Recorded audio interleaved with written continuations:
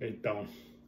We're talking cutlets by Cug, dipping a little egg and uh, cow juice right into the breadcrumbs and grated marrons. Thinner than your sister's breast, that you don't.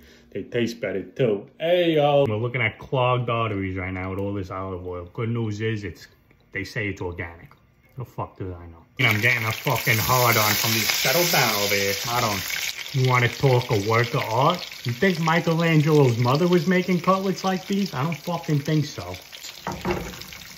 Come on, you fucking bastard. Get out of the pan. Look at that. How you? Oh.